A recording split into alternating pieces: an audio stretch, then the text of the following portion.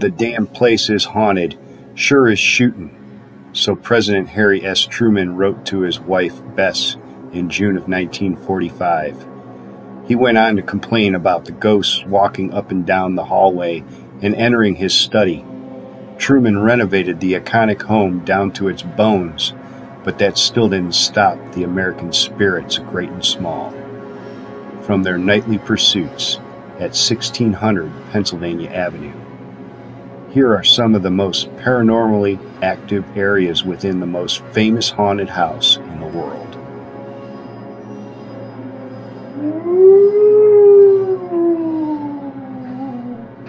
The North Portico. So haunted, it might be said that this stately entrance is a porthole to the great beyond. The ghost of Anne Surratt, daughter of Mary Surratt, who was hanged for her role in the plot to assassinate Lincoln, pounds on the door and begs for her mother's life. A British soldier wielding a torch is often spotted here and on the grounds, perhaps the ghost of the very same man who burned the White House in 1814. Long deceased doormen still stand faithful guard here, no doubt ensuring that the ghostly Brit never gets inside again. The Rose Room. Since the 1860s, President Andrew Jackson has been heard stomping around while swearing a blue streak and other times laughing crudely in this elegant room. The most famous of the White House paranormal encounters occurred here. Queen Wilhelmina of the Netherlands fainted dead away when she answered a knock at the door and came face to face with Abraham Lincoln, top hat and all. The East Room.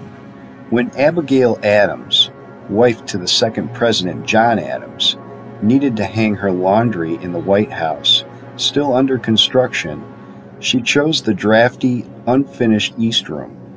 When Adams' adversaries clucked in disapproval, her renowned temper flared. Perhaps that's why her ghost has been seen hanging around the laundry in the East Room as, as recently as 2002. With the fragrance of freshly washed laundry filling the air, she's still angry. The Lincoln Bedroom.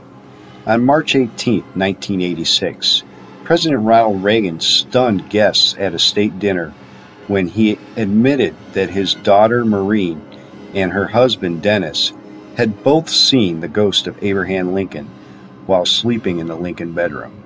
Dennis woke up and saw a tall, misty figure gazing out the window. The figure turned towards him then vanished. Maureen had teased him about it, but a month later she awoke to see an unmistakable figure of Abraham Lincoln standing at the same window, looking out, and she could see the trees right through him. Just before he turned and simply disappeared before her eyes. Reagan also admitted that on two occasions their dog Rex had stood at the threshold of the Lincoln bedroom, barking frantically toward the window, but refused to step a single paw into the room. Maureen and her husband were lucky compared to the other guests in the Lincoln bedroom. Winston Churchill had just stepped from his bathroom stark naked, except for the cigar in his mouth, when he saw Honest Abe's ghost standing by the fireplace. Even his British bulldog refused to spend another night in there. Others have reported seeing or feeling his presence in the Lincoln Room, included Gerald Ford's daughter Susan, dozens of household staff, and the First Ladies Grace Coolidge, Lady Bird Johnson, and Eleanor Roosevelt. But in Lincoln's time, it wasn't a bedroom at all. Rather, it was a cabinet room where the great emancipator heard the latest terrible news of the war, and the commander in chief made the decision that spelled life or death to millions of Americans. No wonder why his tragic spirit haunts this beautiful room to this day.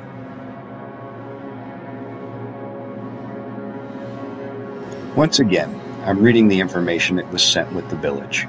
Whether or not it's true, I have no idea, but I do find it interesting and entertaining. I hope you did too. Till next time, stay creepy.